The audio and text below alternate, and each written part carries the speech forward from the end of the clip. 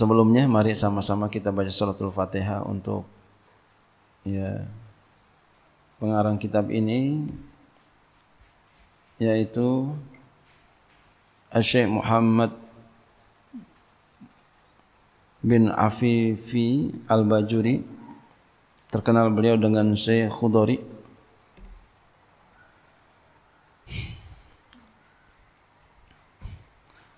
Di Indonesia kitab ini sangatlah ya. Terkenal ya. Buku-buku beliau sangat masyhur ya.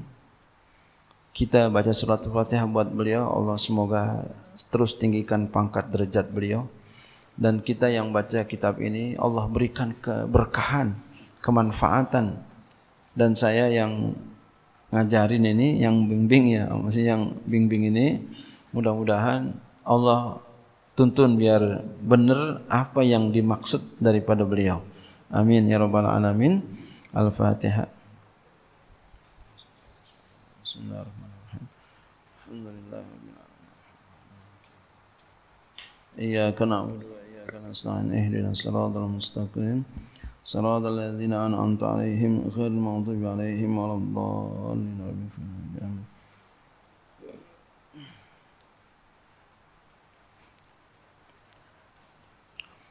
Ya, ini kita akan baca kitab sejarah Nabi, sejarah perjalanan Rasulullah Sallallahu Alaihi Wasallam ya, di dalam berdakwah. Ya. Sejarah suatu pelajaran yang hemat saya adalah pelajaran yang sangat penting. Makanya di kita di sini saya taruh di sini termasuk dalam kurikulum Kenapa? Karena sejarah penting. Buktinya apa? Dalam Al-Quran ada sejarah. Nggak dihilangkan dalam Al-Quran. Artinya apa? Sejarah itu penting. Biar kita tahu, biar kita ngerti. Gitu. Apalagi sejarahnya pimpinan kita, penghulu umat, pemimpin umat, pemimpin ya para rasul, para nabi, makhluk alam jagat raya ini pimpinannya Sayyiduna Muhammad sallallahu alaihi wasallam. Biar kita tahu dan kita bisa ambil pelajaran dari sejarah ini.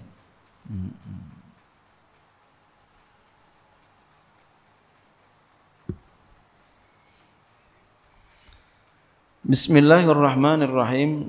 Qala musannif rahimahullahu taala Bismillahirrahmanirrahim. Nahmaduka Ya man awdahta lana subulal hidayati wa azahta an basairina goshawatal goya gowayati wa nusalli wa nusallimu ala man arsaltahu syaidan wa mubashiran wa nadhiran wa da'iyan ila Allah bi izni wa sirajan muniran وعلى الأصحاب الذين هجروا الأوطان يبتغون من الله الفضل ورضوانا والأنصار الذين أووا ونصروا وبذلوا لإعزاز الدين ما جمعوا وما ادخروا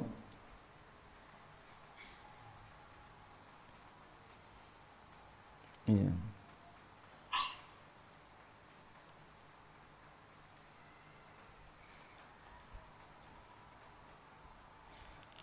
Nahmaduka. Kami memuji engkau.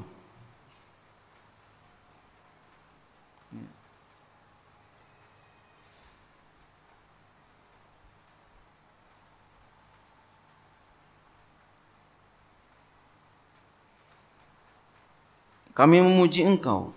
Ya kami memuji engkau. Ya Allah gitu ya.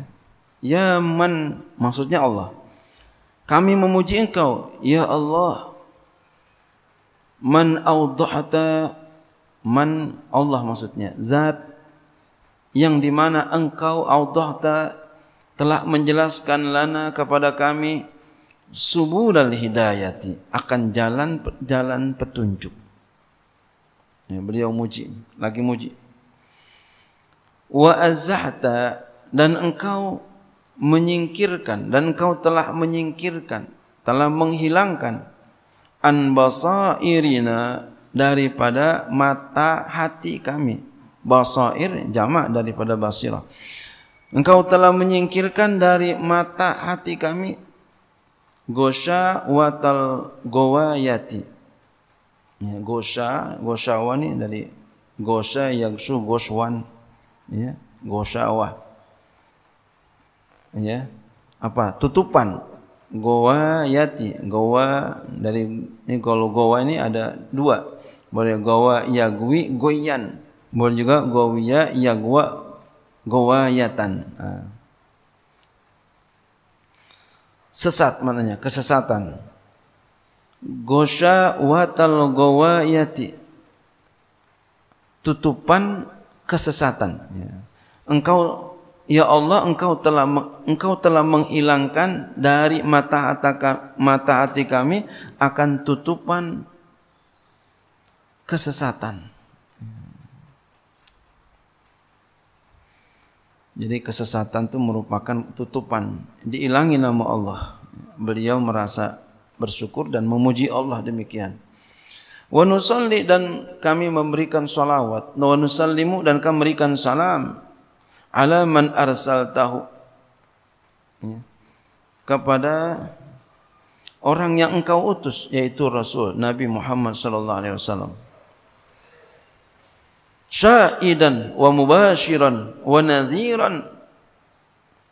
Seorang rasul yang menjadi saksi syahidan wa mubashiran dan yang memberikan kabar gembira wa nadhiran dan yang memberikan peringatan wa da'iyan dan yang mengajak ilallahi kepada Allah biiznihi dengan izinnya. Dengan izin Allah. Wasirajan dan nabi itu adalah sirajan lampu. Muniran yang bercahaya. Muniran yang memberikan yang bercahaya. Yang memberikan yang menerangi gitu. yang menerangi lampu yang menerangi Kan ada orang yang terang doang, lampu yang terang doang. Terang doang sih kan kagak nerangin. Berarti redup ya. Kalau Nabi muniran. Munir. Ada orang saking kepengen anaknya bercahaya namanya Sirajul Munir. Munir. Jadi menyinari wa alal ashabi dan juga semoga diberikan salat dan salam kepada para sahabat-sahabatnya. Alladzina hajarul autana sahabat-sahabat yang telah meninggalkan autaan negerinya. Betapa enggak ditinggalin tuh negeri. Ini menandakan bahwasanya cinta sahabat kepada nabi meninggalkan negerinya. Mana? Mau pergi ke Madinah. Ditinggalin tuh Siapa maksudnya nih? Kaum ya muhajirin meninggalkan kampungnya menuju ke Madinah. Cintanya siapa tuh? Masya Allah. Ada nggak di sini kita sampai-sampai ninggalin tanah, ninggalin apa? Ninggalin kebun-kebun, ikut sama gurunya. Ada yang begitu?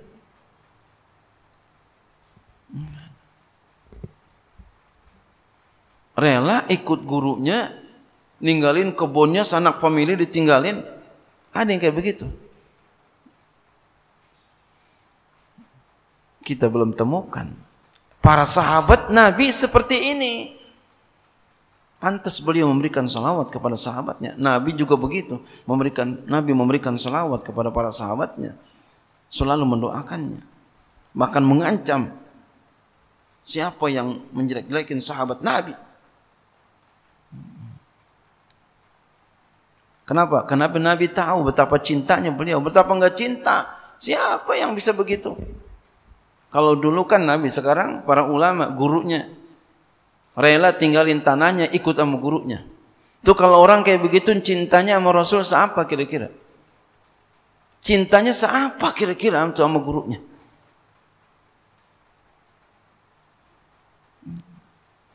Kalau sekarang cinta orang bisa dilihat di mana? Iya.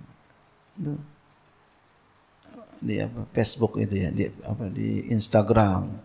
Kalau dia simpen ya sebarin itu cinta. Siapa yang suka nyebarin biasanya cinta dia. Yang suka nyebarin cinta. Yang enggak suka nyebarin enggak cinta. Apalagi malu. Yang ngeres nih banyak banyak ini enggak disebarin. Itu dia enggak cinta. Yang cinta itu di sini ketahuan tuh. kalau dulu kan apa? Iya. Eh, catatan buku itu ya kecil. Kalau sekarang kan Facebook itu. Cinta di situ. Disimpan itu. Subari ini cinta. Wa yabtaghuna minallahil fadla wa ridwana. Mereka para sahabat mencari ridho Allah daripada Allah akan keutamaannya dan keridoannya dicari wal ansar dan ansar. Semoga salawat salam diberikan kepada orang ansar. Kalau tadi itu, yang tadi itu para sahabat maksudnya apa? Kaum muhajirin. Sekarang kaum ansar. Kaum muhajirin jasanya tadi apa? Meninggalkan kampung alamannya, tanahnya ditinggalin, saudaranya ditinggalin demi apa? Mengikut Rasul, cinta sama Rasul. Cintanya begitu besar. Bagaimana kaum ansar? Siapa cintanya? Sama Nabi. Kita lihat. Wal ansara alladzina awaw wa nasaru. Ini beliau memberikan mukodima sesuai apa yang isinya di sini nanti. Kaum Ansar yang mereka itu Ansar awaw mereka itu memberikan tempat wa nasaru dan mereka menolong. Mereka memberikan tempat siapa? Orang muajirin. Ya. Orang muajirin datang ke kota Madinah diberi tempat sama orang Ansor. Dikasih tempat, tanah dikasih sama orang Ansor. Coba. Ada kita ini orang datang punjir kita kasih tanah, ada nggak begitu? Enak aja. itu orang Ansor besar jasanya sampai memberikan itu. Kita apa? Apa yang kita bisa beri? Kita apa yang kita bisa beri buat Rasulullah? Apa? Apa? Hmm. Apaan yang kita udah kita bisa beri buat Rasulullah? Apaan? Coba apa? Gaya-gayaan. Jangan sampai kita itu mengibarkan bendera Rasul tapi di situ ada maksud tertentu. Iya. Mengibarkan bendera Rasul, ayo, ayo, ayo. Tapi sesungguhnya di situ kepengen dia terkenal. Innalillahi wa inna ilaihi rajiun. Kemudian apalagi wa nasaru mereka menolong, membantu. Apalagi wabazalu mereka memberikan. Ansar nih, orang Ansar memberikan kepada kaum muhajirin yang datang dari kota Mekah ke Madinah. Kemudian kaum Ansar menyambutnya, memberi tanah, ya, memberi tempat, menolongnya. Apalagi wabazalu mereka memberikan li'izaziddin untuk mengokohkan agama. I'zaz ini bisa mengatakan memuliakan kalau kokoh kan, hmm, oh ya, mulia, menguatkan, menguatkan agama. Majama'u wa madakharu. Apa yang mereka kumpulin? Apa itu? Duit. Jadi orang Ansor kasih duit tuh orang muhajirin. Dikasih duit. Harta. Wa madakharu dan mereka dan apa yang mereka simpan yaitu harta dikasih. Berarti apa nih orang muhajirin? Yang luar biasa nih orang muhajirin. Jasanya besar. Sampai-sampai Nabi bersabda. Dan banyak ini hadis di antaranya dalam Bukhari dikatakan alamatul iman hubbul ansor. Wa alamatun nifak bugdul ansor. Tanda iman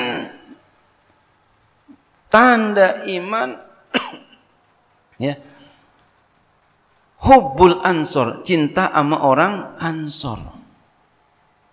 Iman. Jadi kalau dia cinta sama orang ansor, itu tanda iman. Kalau dia benci, berarti enggak iman.